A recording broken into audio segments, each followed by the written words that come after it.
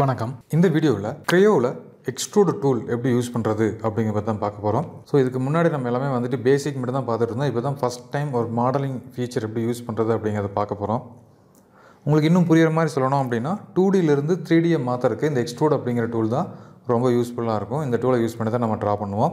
So இந்த tool நம்ம use பண்ணும்போது உங்களுக்கு இது மாதிரியான டேஷ் போர்டு ஓப்பன் ஆகும். இந்த டேஷ் போர்டில் நீங்கள் வந்து சாலிடாக மாற்றுறீங்களா இல்லை சர்ஃபேஸாக மாற்றுறீங்களா அப்படிங்கிறத டிசைட் பண்ணிக்கலாம். டூ டிலேருந்து த்ரீ டியை மாற்றும்போது அதோட திக்னஸ் எவ்வளோ கொடுக்கணும் என்ன வெரைட்டி கொடுக்கணும் அப்படிங்கிற நீங்கள் சூஸ் பண்ணிக்க முடியும். அது இல்லாமல் இந்த செட்டிங்ஸில் போனோம் அப்படின்னா இந்த எக்ஸ்ட்ரூட் அப்படிங்கிற ஒரே டூலை யூஸ் பண்ணி மெட்டில் ஆட் பண்ண போகிறோமா மெட்டில் ரிமூவ் பண்ண போகிறோமா அப்படிங்கிறது நம்ம இங்கேயே டிசைட் பண்ணிக்க முடியும். அது இல்லாமல் மெட்டலுக்கு திக்னஸ் கொடுக்கலாம். ஸோ பாஸ் பண்ணுறது ப்ரிவ்யூ பார்க்குறது இந்த ஓகே கேன்சல் இது மாதிரியான இந்த டேஷ்போர்டு ஐகான்ஸ் நம்ம வந்து புதுசாக இந்த டைம் அக்சஸ் பண்ண போகிறோம் ஸோ வாங்க நம்ம டேரெக்டாக இந்த எக்ஸ்ட்ரூடு டூல் எப்படி யூஸ் பண்ணுறது அப்படிங்கிறத க்ரையோவில் பார்க்கலாம். இப்போ நான் Creo parametric seven point zero open பண்ணியிருக்கேன். இதில் நீங்கள் ஃபஸ்ட்டு செய்ய வேண்டியது ஒர்க்கிங் டேரக்டரி செட் பண்ணணும். ஸோ அந்த ஒர்க்கிங் டேரக்டரை பற்றியெல்லாம் நம்ம முன்னாடி வீடியோவில் டிஸ்கஸ் பண்ணியிருக்கோம். உங்களுக்கு ஞாபகம் இருக்கும் அப்படின்னு நான் நம்புகிறேன் ஸோ ஃபஸ்ட் நான் ஒர்க்கிங் டேரக்டரி செட் பண்ணுறேன் ஸோ செலக்ட் ஒர்க்கிங் டேரக்டரி இதில் பதில் இதில் நம்ம வந்து இந்த பிடிசி கிளாஸ் அப்படிங்கிறத நம்ம ஒர்க்கிங் டேரக்டரியாக யூஸ் பண்ணிருக்கிறோம். ஸோ இதை நான் செலக்ட் பண்ணிவிட்டு ஓகே இப்போ நான் வந்து நியூ நியூவில் யூஸ் டிஃபால்ட் டெம்ப்ளேட் அப்படின்னு எடுத்து விட்டுறோம். பார்ட்டு தான் சால்ட் தான் நம்ம ட்ரா பண்ண போகிறோம் ஸோ இப்போ நம்ம வந்துட்டு ஃபஸ்ட்டு எக்ஸசைஸ் இல்லைனா வந்து எக்ஸ்ட்ரூடை பற்றி பார்க்க போகிறோம் ஸோ நான் வந்து எக் எக்ஸ் ஒன் அப்படின்னு கொடுக்குறேன். ஓகே இப்போ இன்னொரு விண்டோ ஓப்பன் ஆகும். இந்த விண்டோவில் எம்எம்என்எஸ் பார்ட் சாலிட் இதை நம்ம சூஸ் பண்ணிவிட்டு ஓகே கொடுக்குறோம். இப்போ நம்மளுக்கு இந்த க்ரேயோட பேசிக் ஓப்பன் ஆகிருச்சு பார்ட்டுக்குள்ளே நம்ம என்ட்ரு ஆகிட்டோம் இப்போ பாருங்கள் உங்கள் டாப்பில் எல்லாமே உங்களுக்கு மா வேறு மாதிரி இருக்கும் டூல்ஸஸ் எல்லாமே. ஸோ இதில் நான் வந்துட்டு ஃபஸ்ட்டு ஸ்கெட்சு ட்ரா பண்ணணும். நம்ம ஸ்கெட்சு ட்ரா பண்ணால் தான் அதுக்கு பக்கத்தில் இருக்கக்கூடிய இந்த எக்ஸ்ட்ரூட் அப்படிங்கிற இந்த ஃபஸ்ட்டு ஃபியூச்சரை அக்சஸ் பண்ண முடியும். So extrude is one of the metal adding and removing feature so இந்த எக்ஸ்ட்ரூட் யூஸ் பண்ணி நம்மளால் மெட்டலை ஆட் பண்ணவும் முடியும். சேம் டைம்ஸ் மெட்டலை ரிமூவ் பண்ணவும் முடியும். நான் ஃபஸ்ட்டு ஸ்கெட்ச் போகிறேன் ஸ்கெட்சு போயிட்டு ஸ்கெட்சை கிளிக் பண்ணதையும் எனக்கு இந்த ஸ்கெட்ச் ஓரியன்டேஷன் பாக்ஸ் ஓப்பன் ஆகிருக்கு ஸோ அதில் நான் வந்து ஃபஸ்ட்டு இந்த டாப் ஃபஸ்ட்டு பார்த்தீங்கன்னா பிளேன் சூஸ் பண்ணணும். எந்த பிளேனில் ட்ராப் பண்ண போகிறோன்னா அந்த பிளேன் சூஸ் பண்ணணும். நான் வந்து ஃபஸ்ட்டு இந்த டாப் அப்படிங்கிற பிளேனை சூஸ் பண்ணுறேன் சூஸ் பண்ணது மற்ற எல்லாம் எனக்கு ஆட்டோமேட்டிக்காக செட் ஆயிரும். நான் நெக்ஸ்ட்டு வந்து ஸ்கெட்ச் கொடுக்குறேன். ஸோ ஸ்கெட்ச் கொடுத்ததுக்கப்புறம் உங்களுக்கு வந்து டூ டியாக தெரிஞ்சால் தான் நம்ம ஈஸியாக ட்ரா பண்ண முடியும்.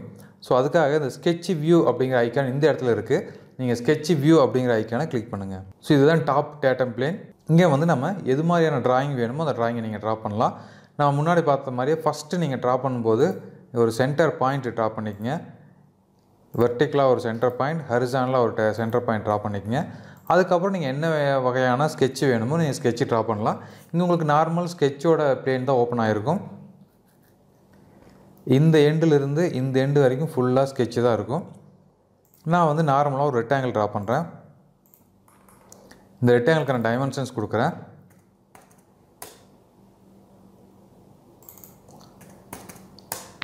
ஸோ டைமென்ஷன் முடிச்சதுக்கப்புறம் நீங்கள் வந்து இந்த இன்ஸ்பெக்ட் டூல் யூஸ் பண்ணி இன்ஸ்பெக்ட் பண்ணிக்கலாம்.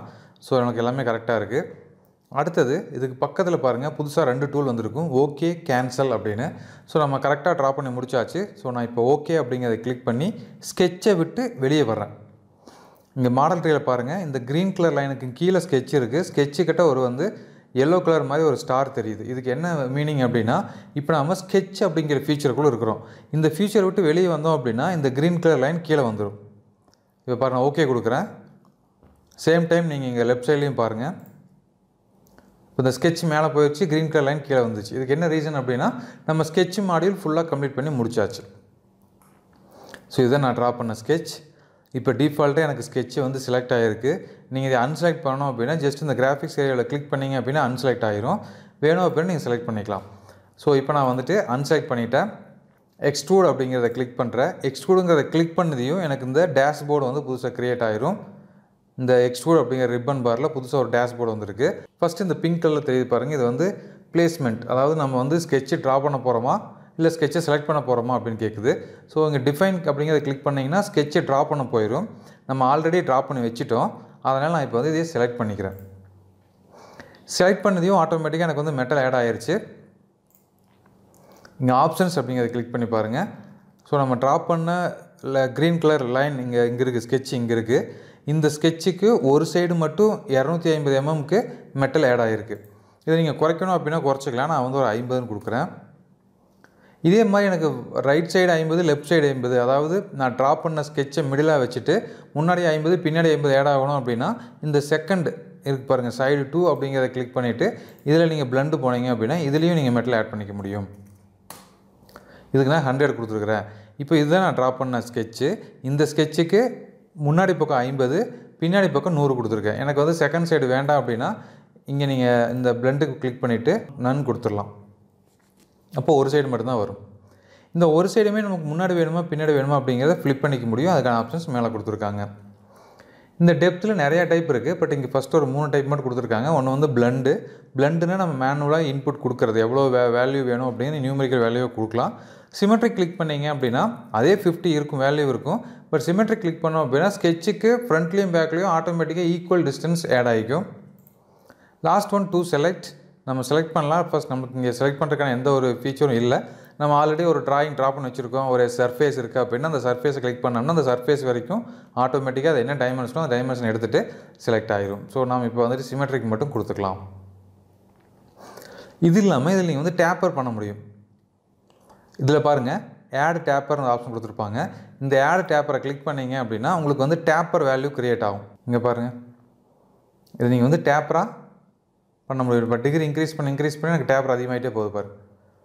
ஸோ டேப்பர் ரெடியூஸும் பண்ண முடியும். அதை ரெடியூஸ் பண்ணும்போது என்ன ஆகும்? பேக் சைடில் சிங்க் ஆகும்.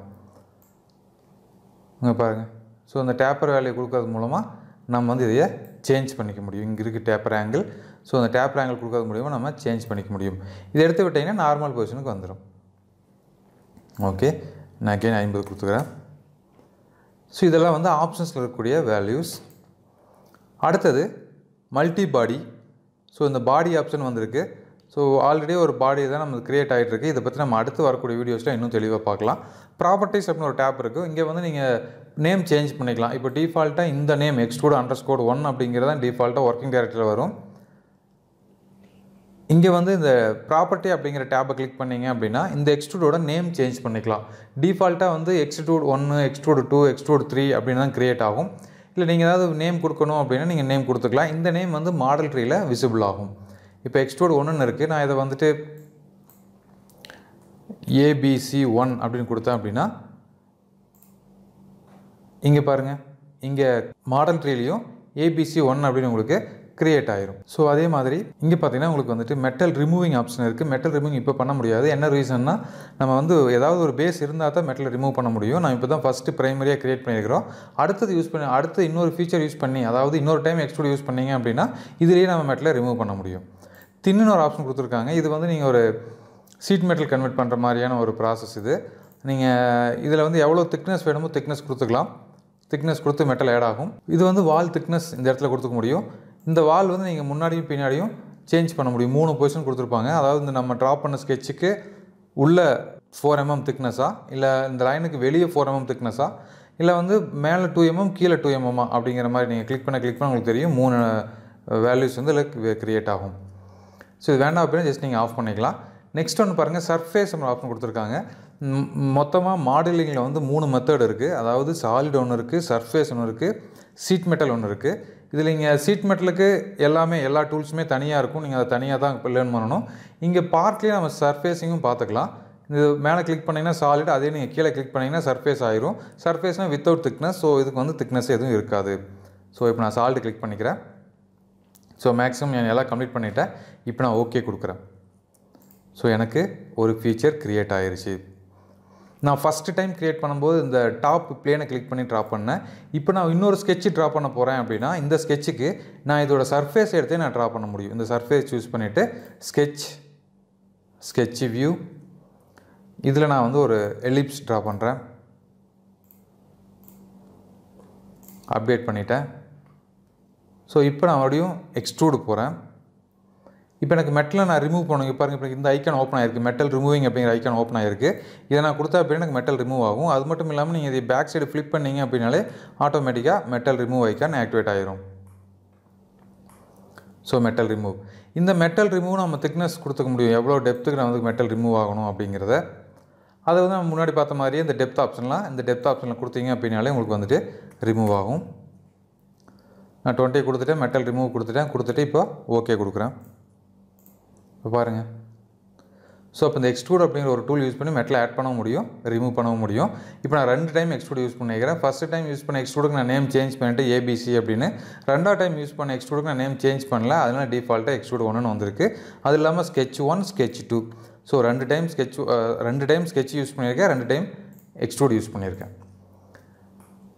ஸோ நம்ம டிஃபால்ட்டாக எப்படி சேவ் பண்ணுறது அப்படிங்கிறது பார்க்கலாம். ஜஸ்ட் நீங்கள் சேவ் அப்படிங்கிறத கிளிக் பண்ணீங்க அப்படின்னாலே ஆட்டோமேட்டிக்காக நீங்கள் ஒர்க்கிங் டேரக்டர் எங்கே ஃபிக்ஸ் பண்ணி வச்சிங்களோ அந்த இடத்துக்கு போயிடும் ஸோ இங்கே நான் வந்து ஓகே கொடுத்தேன்னா ஆட்டோமேட்டிக் எனக்கு சேவ் ஆயிரும். ஸோ இந்த வீடியோவிலேருந்து நீங்கள் எக்ஸ்ட்ரூட் எப்படி யூஸ் பண்ணுறது அப்படிங்கிறத கற்றுருப்பீங்கன்னு நினைக்கிறேன்.